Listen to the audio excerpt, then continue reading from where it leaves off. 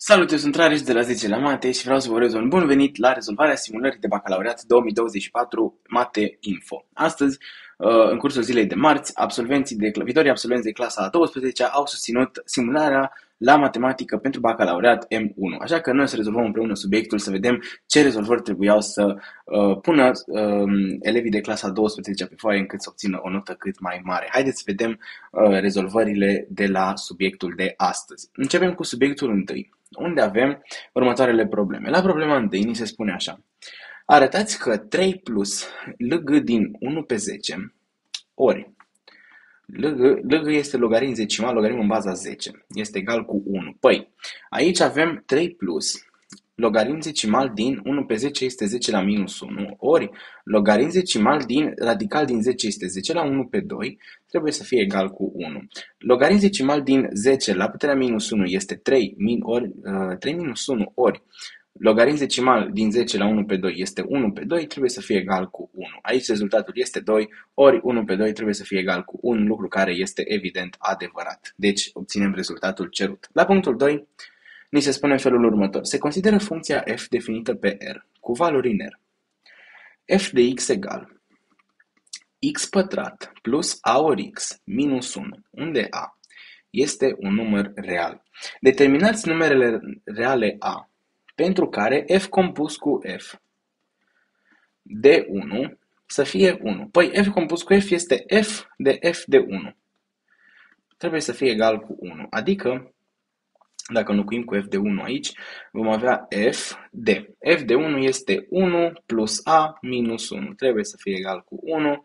1 cu minus 1 se duce. f de a trebuie să fie 1, adică a la a doua plus a ori a este tot a la a doua, minus 1 trebuie să fie egal cu 1. De unde ne rezultă că 2 a la a doua trebuie să fie 2, deci a la a doua trebuie să fie 1, de unde rezultă a egal plus minus 1. Adică numerele reale pentru care se întâmplă uh, acest lucru este, sunt minus 1 și plus 1.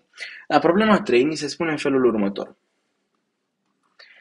Rezolvați în mulțimea numerelor reale ecuația 2 la puterea x plus 1 ori 8 la puterea x egal 32.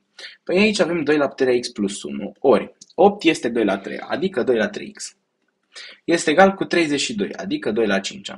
Dacă adunăm aceste două numere, avem 2 la x plus 1 plus 3x egal 2 la 5. De unde ne rezultă că 2 la 4x plus 1 este 2 la 5, aplicăm logaritmul în bază 2 și obținem 4x egal cu 4, de unde rezultă x egal cu 1. Și uh, în mod evident uh, condițiile sunt satisfăcute aici, deci vine 2 la 2 ori 8 de la a doua este 4, ori 8 la întâia este 32, deci x este 1.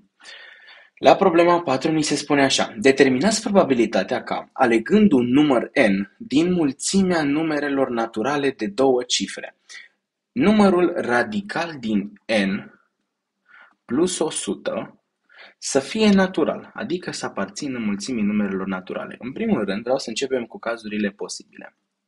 Cazurile posibile sunt următoarele.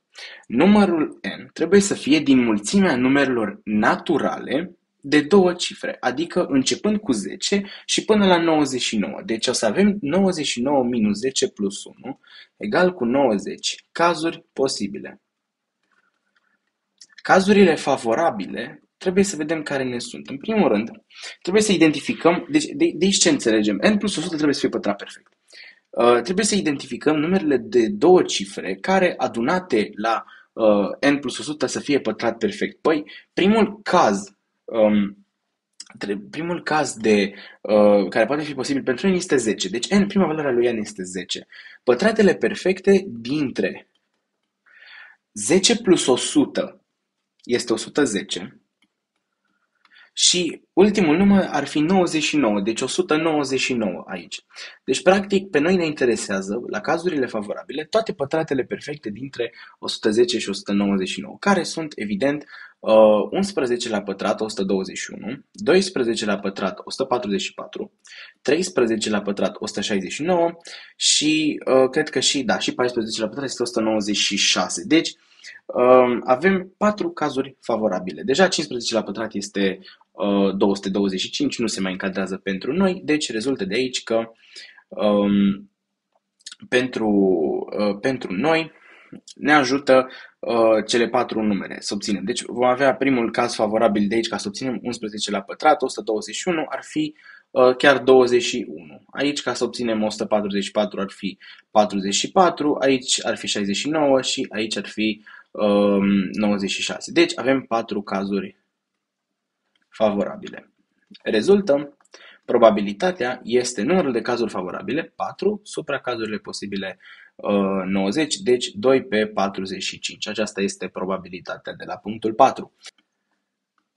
Ok, trecând la punctul 5. Avem următoarea problemă. În reperul cartezian x o y se consideră punctele A de coordonate 1, 4, B de coordonate 4, 6 și C de coordonate 4, 2. Ni se cere să determinăm coordonatele punctului D deci xd și yd, știind că OD egal 1 pe 2 din AB plus AC. Bun, haideți să și facem figura aici. Pentru că o să avem nevoie de, de figură aici la acest exercițiu. Dacă avem acest reper x, o, y, A este de coordonate 1, 4, deci 1, 2, 3 și 4 aici. Ar fi A-ul, B-ul ar fi de coordonate 4 și 6, deci ar fi undeva pe aici, și C-ul ar fi de coordonate 4, 2, deci undeva pe aici. Și acesta ar fi triunghiul ABC, prin O, evident, ne referim la origine, deci avem și triunghiul acesta, uh, OAC. Bun, acum, în triunghiul ABC avem următoarea formulă. 1 pe 2 din AB plus AC este de fapt a M, să spunem, unde M este mijlocul lui BC. Mijlocul lui BC. Și deci, dacă OD este 1 pe 2 din AB plus AC, este de fapt AM. Important este acum să calculăm pe M, să calculăm coordonatele lui M. Dacă M este mijlocul lui BC, ne rezultă că xm este xb plus xc pe 2, adică xb fiind 4 plus xc 4 pe 2 este 4 și ym este uh, yb plus yc pe 2. Adică yb este 6 plus YC este 2 pe 2. 4 din nou. Deci rezultă că M are coordonatele 4, 4. Adică, pentru noi, în acest moment, noi avem OD egal cu AM ca vector. Deci rezultă că noi pe AM putem să-l scriem în funcție de versori. Adică aici AM de fapt este XM minus XA ori I plus YM minus YK ori J versorii din spațiul vectorial. Deci xm este 4 minus xa este 1 ori i plus ym este 4 minus yk este din nou 4 ori j. Adică am-ul nostru este de fapt 3i. J-ul este, este 0. Și atunci, din nou, aici OD trebuie să fie la rândul lui xd minus xo ori i plus yd minus yo ori j. Adică xd este necunoscută, deci xd ori i plus uh, yd ori j. Și evident când îl egalăm cu 3i aici, pentru că din nou y minus y acolo, y era 4 și uh, y este 4, deci nu avem j, rezultă de aici că uh, evident xd este odată 3 și YD este 0. Deci, rezultă punctul nostru de are coordonatele 3 și 0 și acesta este punctul. Bun. La problema numărul 6 avem în felul următor. Se consideră expresia e de x egal tangente de x minus 4 cos de x pe 2 ori cos de x unde x este un uh, unghi din um, 0 pi pe 2. Arătați că e de pi pe 3 este 0. E de pi pe 3 este de fapt tangentă de pi pe 3 minus 4 ori cos de pi pe 3 pe 2 este pi pe 6 ori cos de pi pe 3. Așa. Adică avem aici în felul următor. Tangentă de um, tangentă de pi pe 3 este tangentă de 60 de grade, care tangentă de 60 de grade este radical din 3. Minus 4 ori cos de pi pe 6. Cos de pi pe 6 este uh, cosinus de 30 de grade, care este radical din 3 pe 2. Ori cosinus de pi pe 3 este cosinus de 60 de grade, care este 1 pe 2. Deci aici avem radical din 3 minus și 4 ori 2 ori 2 se duce, minus radical din 3 este egal cu 0 exact cum ni se cerea în problemă. Și aceasta a fost rezolvarea subiectului 1. Trecem la subiectul al doilea, algebră. La subiectul al doilea avem în felul următor, la 1. Se consideră matricele I3, pe care evident o cunoaștem, și A de X egal 1 minus 1x minus 1, 0, 0, x, 0, minus 1, unde x este un număr real.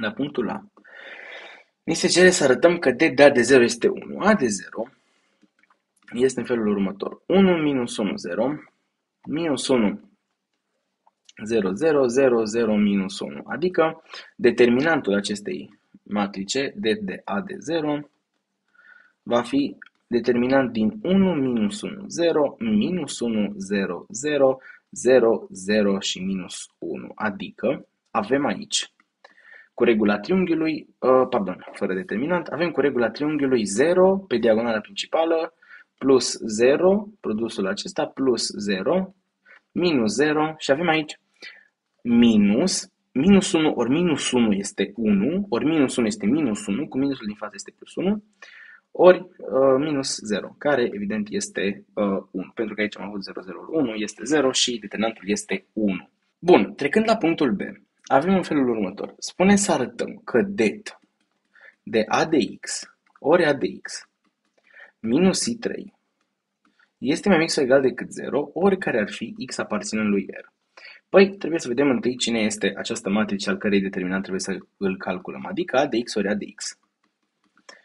Minus i3 va fi a de x este 1 minus 1x minus 1, 0, 0 și x 0 minus 1 ori, din nou 1 minus 1x minus 1, 0, 0 x 0 și minus 1 minus i3. Deci vom avea aici, um, făcând înmulțirea, o să avem 1 plus 1, 2 plus x pătrat. Deci x pătrat plus 2. Aici vom avea minus 1 cu 0 cu 0, deci minus 1. Aici vom avea x 0 și minus x, deci vom avea 0. După care vom avea minus 1 ori 1 minus 1 cu 0 cu 0 minus 1 plus 1 ori 0 ori 0 va fi 1 și vom avea minus x ori 0 ori 0, deci minus x aici. După care vom avea x cu 0 și cu minus x, deci 0. Minus x cu 0 cu 0 va fi minus x și aici vom avea x pătrat plus 0 plus 1, deci x pătrat plus 1, totul minus i3.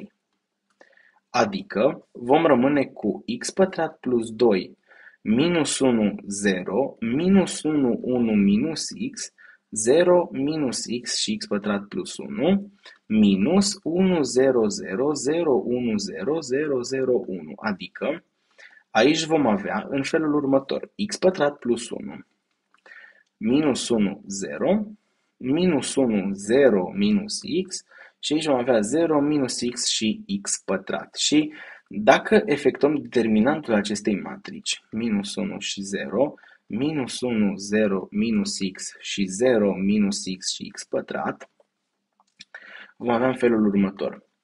0 pe diagonala principală plus 0 pe colțuri plus 0 și aici, minus 0, minus, și acum avem minus 1 ori minus 1, 1 ori x pătrat, deci minus x pătrat, și mai avem un minus, și aici avem minus x ori minus x este x pătrat, pe lângă x la a doua plus 1.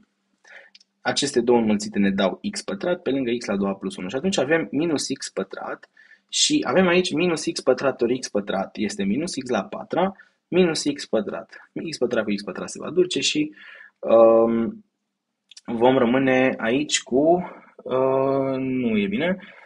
Vom rămâne aici cu minus uh, x pătrat. Ok, minus x. Ba nu, nu, nu se reduce. Rămânem cu minus 2x pătrat minus x la a patra, care minus 2x pătrat minus x la patra vine minus pe lângă x pătrat, pe lângă 2x pătrat plus x la patra. Evident, x pătrat și x la patra sunt două pătrate perfecte, care sunt mai mari sau egale decât 0. Deci, uh, oricare ar fi x numărul real, aceste două numere sunt mai mari sau egale decât 0. Și cu un minus în față, evident, uh, este mai, mare, mai mic sau egal decât 0, oricare ar fi x aparținând lui R. Bun.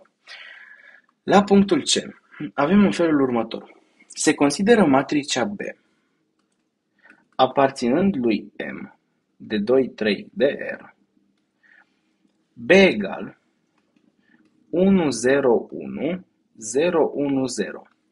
Determinați matricea X, de asemenea aparținând lui M, 2, 3 de R, pentru care X ori A de 0 totul la minus 1 să fie egal cu B ori A de 0. Păi, uh, un lucru foarte, foarte important aici, de specificat. A de 0 la minus 1 este evident inversa lui A de 0. Păi, din punctul A, deci din, din A mic, nouă ne rezultă că D de A de 0 este diferit de 0. Adică, ce înseamnă acest lucru? A de 0 este inversabilă. Deci aici, în această ecuație, eu nu vreau să, nu pot să, adică pot, dar nu vreau să calculez inversa lui A de 0 la minus 1, pentru că ar fi foarte, foarte uh, consumator din punct de vedere al timpului. Și atunci facem următoarea, următorul artificiu aici. Înmulțim la dreapta cu A de 0. Pentru că A de 0, după cum am spus, este o matrice inversabilă, are inversă. Deci pot să înmulțesc la dreapta cu A de 0 și evident că obțin aici x ori A de 0 la minus 1 ori A de 0 este I3, nu face nimic. Deci vom avea x egal b ori A de 0 la pătrat. Mă rog, A de 0 ori A de 0, care A de 0 ori A de 0 îl știm din punctul anterior, adică vom avea b pe care o să-l, o să și scriu direct. Deci B-ul nostru este 101, 010, ori și A de 0 ori A de 0, cred că da, îl avem din punctul anterior. Deci aici avem A de X ori A de X, care A de X ori A de X este acesta, pe care um, dacă ne uităm peste el, o să avem în felul următor. O să avem, uh, deci din acest, acesta, o să scriu aici ca să îl și vedem, A de 0 ori A de 0 ne va rezulta în următoarea matrice. 2, minus 1, 0, minus 1, 1, 0, 0, 0, 1. Aceasta va fi matricea. Și atunci aici, revenind la, um, la problema noastră, a de, de 0 la pătrat este chiar această matrice. Deci 2 minus 1, 0. Pe a doua linie este minus 1, 1, 0 și 001. Cred că aveam uh, acolo jos. Da, exact. Bun. Și practic uh, noi trebuie să înmulțim um, aceste două matrici și să obținem o matrice în M2 de, de R. Adică rezultatul va fi 1 ori 2 este 2, cu 0 și cu 0 va fi 2, 1 ori minus 1 este minus 1, cu 0 și cu 0 este minus 1, 1 ori 0 e 0, 0, 0, 0, 1 ori 1 e 1 și aici avem 0, minus 1, 0, deci minus 1, 0, 1, 0, adică 1 și 0, 0, 0, care este 0. Deci ne rezultă de aici că, uh, evident, x egal 2 minus 1, 1, minus 1, 1, 0. Acesta este răspunsul la punctul C. Trecând la problema cu numărul 2. Pe mulțimea M egal 0 plus infinit. Se definește legea de compoziție x compus cu y egal x pătrat plus y pătrat plus x plus y, totul supra x plus y plus 1. Bun. Acum, la punctul amic. Ni se cere să arătăm că 1 compus cu 2 este egal cu 2, nu să, noi o să-l calculăm. 1 compus cu 2 este 1 plus 4 plus 1 plus 2 totul supra 1 plus 2 plus 1, adică 2 uh, cu 2, 4 cu 4, 8 supra 4. Deci este 2.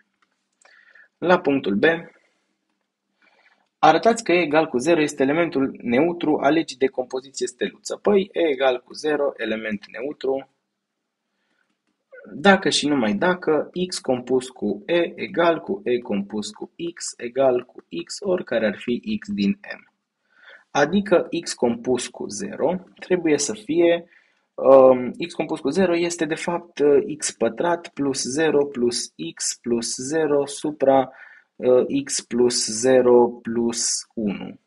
Cred că da, așa, așa obținem aici. Deci vine x pătrat plus x supra x plus 1. Deci vine x pe lângă x plus 1 pe x plus 1, se reduce și avem x, oricare ar fi x din m. La punctul, uh, la următoarea proprietate, 0 compus cu x este uh, evident din nou, deci vom avea aici 0 plus x pătrat plus 0 plus x supra 0 uh, plus x plus 1. Exact același artificiu, x pe lângă x plus 1, totul pe x plus 1 deci vom avea x, oricare ar fi x din m. Deci rezultă din aceste două calcule că uh, e egal cu 0 element neutru. Și evident e este inclus în m, deci uh, este, este totul foarte, foarte ok. Bun, și trecând la punctul C, avem în felul următor. Ni se spune să determinăm perechile mn de numere naturale știind că m compus cu n este egal cu 5. Evident, m compus cu n, dacă înlocuim în legea de compoziție, vom avea m pătrat plus n pătrat plus m plus n, totul supra m plus n plus 1, trebuie să fie egal cu 5. m și n sunt numere naturale, deci aici putem să trecem în partea din dreapta um, um, numitorul și o să avem m pătrat plus n pătrat plus m plus n egal 5m plus 5n plus 5. Dacă le trecem în partea din stânga pe 5m și 5n, o să am m pătrat minus 4m plus n pătrat minus 4m egal cu 5. Ce observăm aici este că dacă eu mai adun câte un 4 la fiecare pereche, uh, o să obțin o formulă de calcul prescurtat, deci minus 2 și n minus 2 la pătrat. Și atunci uh, adun un 8 aici și o să am m pătrat minus 4m plus 4 plus n pătrat minus 4n plus 4 egal 13, adică n minus 2 la pătrat plus n minus 2 la pătrat trebuie să fie egal cu 13. Vă reamintesc, m și n sunt numere naturale. Pătratele perfecte până la 13 naturale sunt 1 la pătrat care este 1, 2 la pătrat care este 4 și 3 la pătrat care este 9. Deci clar pe noi aici ne ajută combinația 4-9. Așa că o să avem odată uh, m-2 la pătrat egal 4 și n-2 la pătrat egal 9 și în al doilea rând o să avem m-2 la pătrat egal 9 și n-2 la pătrat egal 4. Evident, ele sunt, uh, aici sunt numere naturale. Deci, acest lucru se întâmplă, în primul rând, sus aici trebuie să avem, uh, dacă și numai dacă, m-2 este 2. Evident, sau m-2 poate să fie și uh, minus 2. O să vedem după aceea dacă este număr natural sau nu. n-2 trebuie să fie 3 sau n-2 trebuie să fie um, minus 3. Și atunci aici obținem în felul următor. Din acesta obținem uh, m egal cu 4 și aici obținem m egal cu uh, 0. Aici obținem n egal cu 5 și aici obținem um, n egal cu minus 1. Bineînțeles, minus 1 nu convine, pentru că nu, nu ne ajută cu, nu este natural, deci aici nu, nu convine. Deci de aici ne rezultă că, evident, cu aceste două m-uri care ambele sunt valide, sunt numere naturale, putem să facem uh, orice fel de combinație cu n-ul. Deci de aici ne rezultă că avem perechile 4, 5 și 0, 5. Și acum, întrebarea vine în felul următor. Dacă aici înlocuiesc cu numerele exact inverse, o să obțin exact aceleași rezultate, doar că o să le obțin invers. Așa că pot să scriu direct că și perechile 5, 4 și 5, 0 sunt valide și de fapt acestea sunt și soluțiile pe care le-am fi obținut dacă um, am fi înlocuit la punctul 2. Și practic perechile uh, valide sunt 4, 5, 0, 5, 5, 4 și 5, 0. Acestea sunt perechile uh, MN de numere naturale care convin uh, condiției date. Amic. Să arătăm că f derivat de x este uh, cât ni se spune acolo. Noi să-l calculăm pur și simplu, deci f derivat de x este folosindu-ne de regula produsului x plus 6 derivat ori radical din x pătrat plus 4 plus uh, x plus 6 ori radical din x pătrat plus 4 totul derivat. Adică aici avem radical din x pătrat plus 4 plus x plus 6 ori și radical din x pătrat plus 4 derivat e 1 supra 2 radical din x pătrat plus 4 ori 2x. Pentru că uh, se, se derivează și conținutul din interior. 2 cu 2 se, se simplifică și aici avem um, radical din x pătrat plus 4 este primul termen, deci radical din x pătrat plus 4 plus și aici avem x pe lângă x plus 6 supra radical din x pătrat plus 4. Putem să aducem la uh, un singur radical și o să avem x pătrat plus 4 plus x pătrat plus 6x supra radical din x pătrat plus 4 egal în continuare cu uh, 2x pătrat plus 6x plus 4 pe radical din x pătrat plus 4 și dacă dăm un 2 factor comun sus, vine 2 pe lângă x pătrat plus 3x plus 2, totul supra radical din x pătrat plus 4, evident, oricare ar fi x aparține lui R. Deci am ajuns la, la derivata din enunț. Bun, la punctul B ne spune în felul următor, determinați intervalele de monotonie a funcției f. Ok, intervalele de monotonie este, uh, de fapt, nimic altceva decât tabelul de variații. Deci cum variază funcția.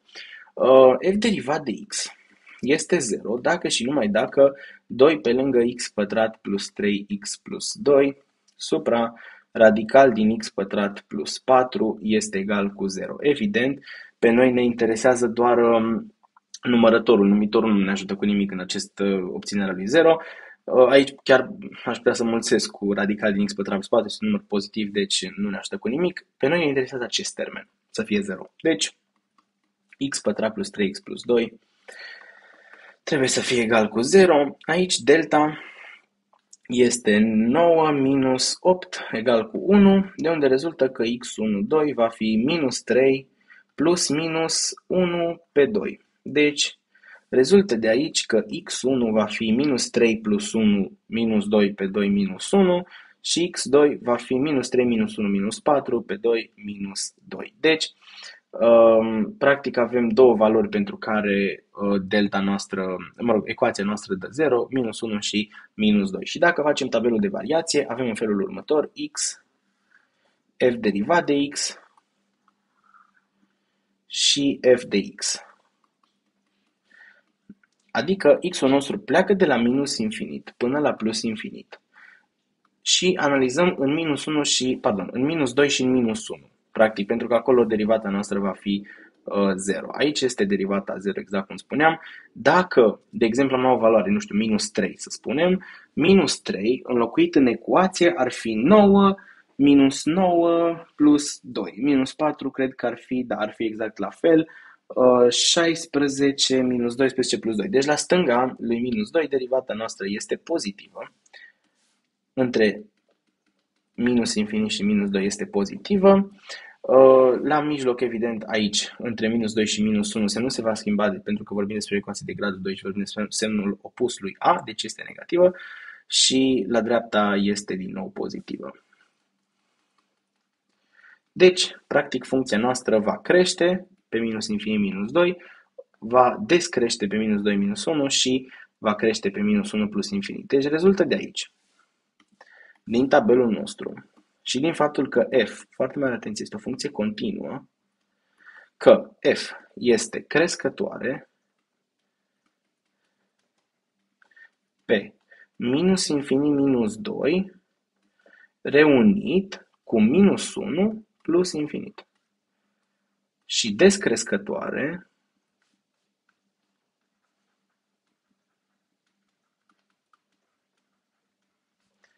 așa, pe minus 2, minus 1.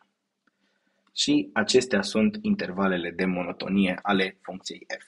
La punctul C spune, demonstrați că ecuația f de x egal cu m are soluție unică pentru orice număr întreg m. Păi, f de x egal cu m are soluție unică, evident o să mergem pe rezolvarea clasică de aceste exerciții, și anume teorema lui Roll. Adică aici o să scriem fie g definită pe R cu valori în R, g de x egal f de x minus m. Evident, g derivat de x este egal cu f derivat de x și este egal cu uh, 2 pe lângă x pătrat plus 3x plus 2 supra radical din x pătrat plus 4, oricare ar fi x din, din uh, R. Bun, acum dacă facem variația pentru g, x, g derivat de x, g de x și o să mai dau un rând sub care va reprezenta șirul semnelor lui Roll. Vom avea între minus infinit și plus infinit, evident, exact același tabel ca și la punctul anterior, 0, 0, aici la stânga era plus, plus și între ele este minus, pentru că, din câte mi-aduc aminte, da, funcția uh, scade între ele și atunci funcția noastră g din nou, ă, reiterând de la punctul anterior, crește și ea pe minus infinit minus 2, scade pe minus 2 minus 1 și crește pe um, minus 1 plus infinit. Acum, uh, ideea cu șirul semnelor lui Roll este următoarea. În momentul în care um, funcția noastră schimbă semnul între două puncte, de exemplu între uh, plus infinit minus 1, minus 1, minus 2 și așa mai departe, acolo este o soluție a ecuației. Deci, practic, noi trebuie să arătăm că semnul uh, funcției g se schimbă o singură dată ca, evident, uh, ecuația să aibă o singură soluție. Și aici, haideți să calculăm, în primul rând va trebui să calculăm limită când x tinde la minus infinit din g de x. Care este limită când x tinde la minus infinit? Din x plus 6 ori radical din x pătrat plus 4 minus m pentru că acesta este g de x1. Bineînțeles, minus m nu are legătura cu limita noastră, pe noi ne interesează limita de acolo din, uh, din interior. Deci, pe noi ne interesează în, uh, în felul următor aici. Noi avem o limită care este infinit ori infinit, pentru că x radical din x pătrat plus 4, x tinde la minus infinit, este radical din infinit, care este infinit. Și aici avem 6 plus x, adică minus infinit. Deci rezultatul nostru va fi minus infinit, minus m, adică minus infinit. Deci, noi în tabelă o să trecem aici minus infinit. Iar semnul este, evident, minus. În dreptul lui minus infinit. G de 2, de minus 2, pardon, g de minus 2 este minus 2 plus 6 ori radical din minus 2 la a doua plus 4 minus m. Adică minus 2 plus 6 este 4 ori aici avem radical din 8 4 radical din 8 minus m, adică uh, avem 8 radical din 2 minus m. 8 radical din 2 minus m este aici.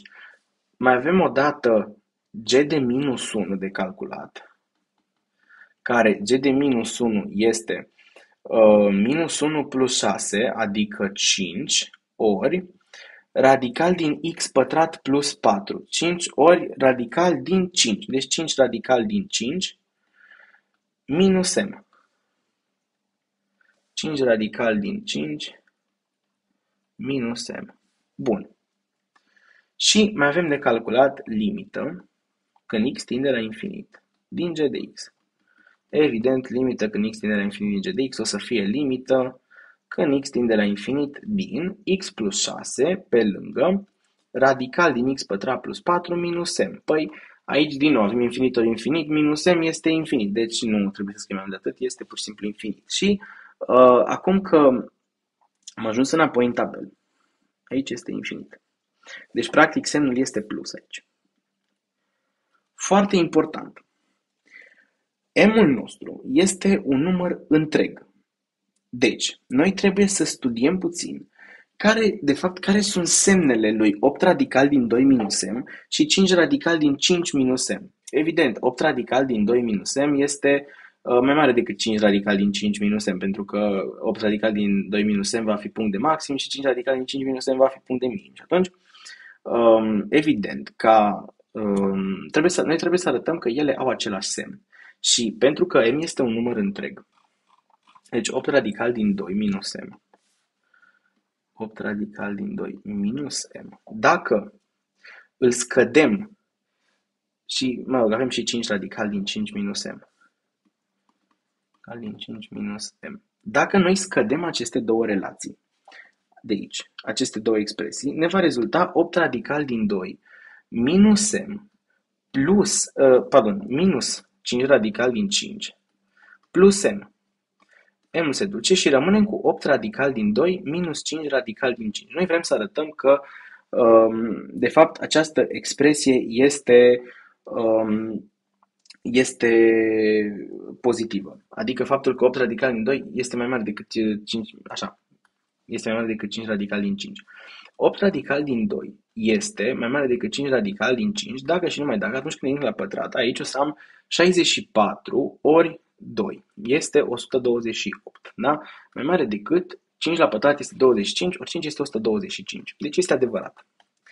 Ce îmi rezultă de aici? Îmi rezultă că 8 radical din 2 minus m minus 5 radical din 5 minus m este întotdeauna o expresie uh, pozitivă. Deci, practic, în momentul în care m-ul nostru se schimbă, da? dacă m pleacă de la minus infinit, se duce și ajunge la 0 și pe aceea schimbă semnul. Practic, aceste două expresii vor avea același semn. Deci, fie dacă, oricum, depinde de variația lui m aici, dar pentru că el, m este un număr întreg, da? el nu poate să aibă nicio valoare decimală, el este pur și simplu un număr întreg. Clar, în momentul în care este negativ, 8 uh, radical din 2 minus, minus ceva o să fie plus, deci ambele vor fi pozitive. În momentul în care este negativ 0, uh, ambele au același semn. Și pentru că sunt foarte, foarte apropiate, um, în momentul în care m are um, m este uh, întreg, ele au exact același semn. Deci aici nu putem să trecem neapărat o valoare în dreptului 8 radical din 2 minus m și 5 radical din 5 minus m pentru că uh, ele au exact aceeași valoare. Deci în funcție de cum se, uh, se va duce m Dacă, ne, dacă analizăm comportamentul lui m pe, uh, pe minus infinit plus infinit, în momentul în care m ajunge la 0, atât 8, deci 8 radical din 2 minus m, cât și 5 radical din 5 minus m, încă au același semn. Deci aici clar, este, sunt pozitive amândouă. Până la 0 sunt absolut pozitive. Când ajung la 0, din nou sunt pozitive amândouă. Când ajungem la, um, la 1 cu valorile lui m, din nou sunt pozitive. O să zicem valorile pozitive. Și problema va apărea în momentul în care uh, vom ajunge la Uh, valoarea 12. Deci până aici, clar, de la 0 la 1 până la 12, ele sunt pozitive.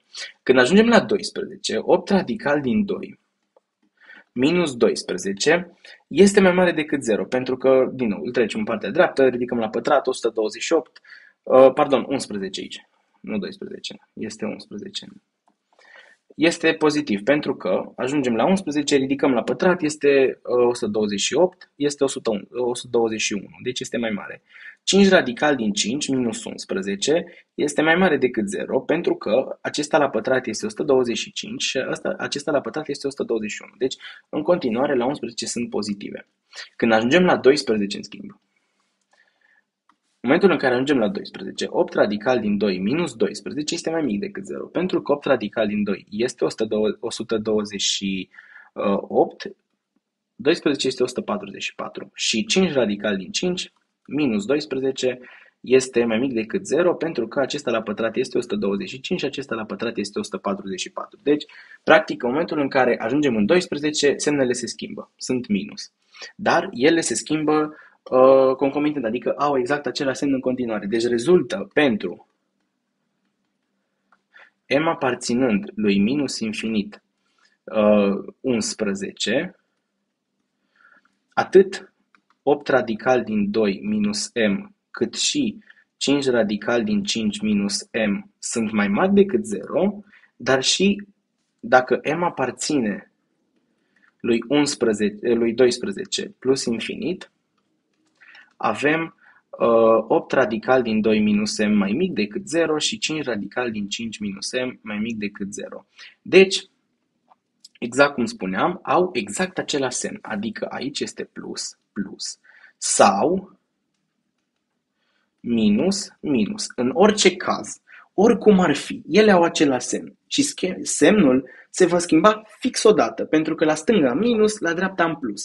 Deci rezultă din acest tabel și și din faptul că f este, că g este o funcție continuă, deci o să scriu aici la final, rezultă g continuă că ecuația și evident din șirul lui rol, deci șirul semnelor lui rol, ecuația g de x egal cu 0 are exact o soluție.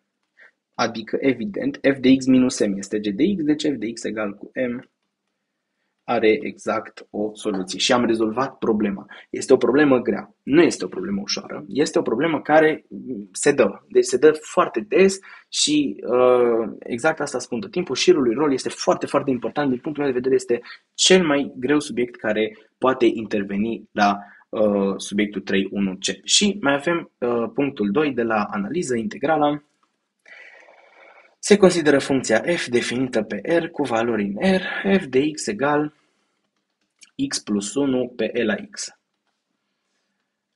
Amic. Integrală de la 0 la 4 din e de e la x ori f de x. De x. Evident, este integrală de la 0 la 4 din mulțimea aici, rămânem cu x plus 1 de x.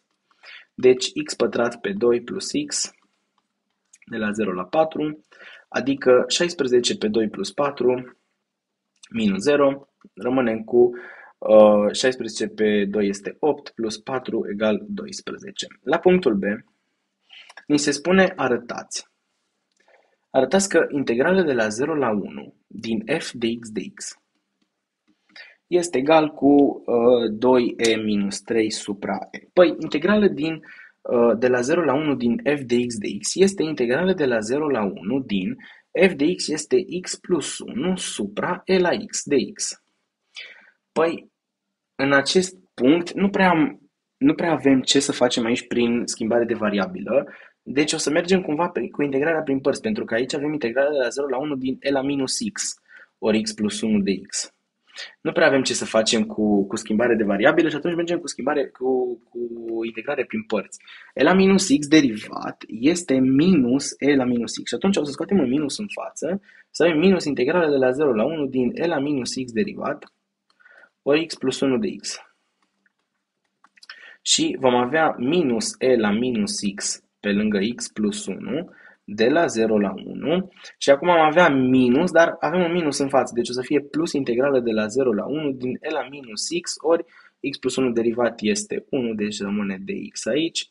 Și avem, uh, dacă înlocuim aici, de la 0 la 1 vine minus e la minus 1 pe ori 2, evident, um, ar veni minus, dar aici cu minusul din față vine plus, e la 0 ori 1 plus uh, integrală din e la minus x este minus e la minus x de la 0 la 1. Deci aici avem um, minus 2 pe e, dacă nu mă înșel, da, minus 2 pe e plus 1, plus și aici avem înlocuind minus e la minus 1 și am avea plus e la 0. Bun. Adică minus 2 pe e plus 1 Uh, minus 1 pe E plus 1. Deci vine 2 minus 3 supra E. Adică dacă aducem un numitor comun, vine 2E minus 3 supra E. E foarte important atunci, e exact, uh, oricum exact ce ni s-a cerut. E foarte important atunci când uh, rezolvăm integralele să ne hotărâm ce fel de metodă folosim. Aici am integrale prin, prin schimbare de variabilă, nu prea aveam ce să facem pentru că era foarte dificil, adică n-am, nu prea am ce variabilă să schimb și atunci trebuie să fiu foarte, foarte atent la, uh, la integrare prin părți. Ok, și trecem la punctul C, punctul care, uh, din perspectiva mea, nu și avea locul în acest subiect, este un, un subiect cu șiruri de integrare, din punctul meu de vedere este ceva mult, mai, mult prea avansat uh, legat de um, șirurile de integrale, pentru că nu, din punctul meu de vedere, până la ora aceasta la clasă, până în 5 martie, nu prea ai cum să discuți foarte, foarte avansat despre uh, integralele definite, mai ales cu precădere despre șirurile de integrale. Dar o să rezolvăm problema pentru că a fost dată în simulare, însă din punctul meu de vedere, un astfel de exercițiu nu și avea locul în subiect. Uh, pentru fiecare număr natural n aparținând lui n, n mai mare sau egal decât 2, se consideră numărul in egal integrală de la 0 la 1 din x la n minus 1 supra f de x la n de x. Demonstrați că ln din 2 pe n mai mic egal cu in mai mic egal cu e la minus 1 pe n oricare ar fi n aparținând lui n, n mai mare sau egal decât 2. Ok. Bun. Uh, facem următorul artificiu aici. În in o să facem următorul lucru. Integrală de la 0 la 1 din și o să fac schimbare de variabilă cu x la n. O să notez pe x la n cu un t. Dacă notez cu t egal x la n, eu am dt egal n ori x la n minus 1 dx. Ok, îmi lipsește un n. Așa că îl pun de la mine sus. Deci o să am 1 pe n, nx la n minus 1 supra f de x la n dx. Acum, noi schimbăm, noi schimbăm, uh, facem schimbare de variabilă pe integrale definită. Deci trebuie să schimbăm capetele de integrare. Însă, aici, dacă x este 0, evident t este 0. Și jos, dacă x este 1, t este 1. Deci capetele rămân exact acelea. Și avem în felul următor. Rezultă in-ul nostru, de fapt, este 1 pe n, integrală de la 0 la 1 din și sus voi avea dt supra f dt. Aceasta este, um, aceasta este integrala noastră. Și acum, uh, evident, înlocuim pe f dt, doar acum înlocuim, integrala de la 0 la 1 din dt supra uh, f dt va fi t plus 1 supra e la t, adică vom avea 1 pe n integrală de la 0 la 1 din e la t pe t plus 1 dt. Păi, e la t supra t plus 1, eu pot să-l încadrez la stânga între 1 pe t plus 1 și la dreapta între e la t. Pentru că t-ul nostru este un număr între 0 și 1. Deci, automat, când adun 1 și mai și împar pe e la t la el, o să obțin uh, inegalitatea din dreapta și la stânga 1 este mai mic sau egal decât t la t, oricare ar fi t, deci uh, putem să rămânem așa. Și aici, dacă uh, aplic integrala, deci dacă aplic integrala de la 0 la 1, obțin următorul lucru. Integrala de la 0 la 1 din 1 pe t plus 1 dt mai este egal decât integrala de la 0 la 1 din e la t pe t plus 1 dt mai este egal decât integrala de la 0 la 1 din e la t dt. Ok, acum, aici în stânga avem ln din t plus 1 de la 0 la 1 mai este egal decât integrala de la 0 la 1 din e la t pe t plus 1 dt și la stânga este uh, e la t de la 0 la 1. Bun, acum eu mai am nevoie de ceva, pentru că eu am exact n dar vreau să, vreau să am n la mijloc și atunci mai înmulțesc cu 1 pe n, pentru că eu n-am 1 pe n ăla pe care l-am pus eu de la mine la început. Și atunci aici înmulțesc cu 1 pe n și obțin 1 pe n ori, și aici am ln din 2 minus ln din 1, care ln din 1 e 0. 1 pe n ln din 2 mai mic egal decât n și mai mic egal decât Aici o să am 1 pe n ori e la t de la 1 la 0 vine e minus, uh, deci vine e la 1 minus e la 0 aici. Și în mod evident obțin aici 1 pe n ln din 2 mai mic egal decât n mai mic egal decât uh, e minus 1 pe n oricare ar fi n mai mare sau egal decât 2 număr natural. Aici când am înmulțit cu 1 pe n, uh, este foarte important să și specificăm că este mai mare decât 0, deci când am înmulțit cu un număr negativ. Bun, și cam aceasta a fost rezolvarea subiectului de la Mate Info. Din punctul meu de vedere, un subiect peste medie, adică a fost un subiect destul de greuț, însă este simulare și uh, cu atât mai mult mi se pare, mi s-a părut greu acest, uh, acest șir de integrale, însă nu era un subiect imposibil. Um, este simulare, mai este foarte mult timp până la bacalaureat și este timp pentru aprofundarea materiei. Eu vă mulțumesc foarte mult că m-ați urmărit, am fost Darius de la 10 la mate, uh, vă mai așteptăm pe canalul nostru de YouTube de cele examene cu multe alte rezolvări zilele acestea în perioada de uh, simulări. Multă baftă în continuare și vă urez mult, mult spor în pregătirea voastră la matematică. Pa, pa!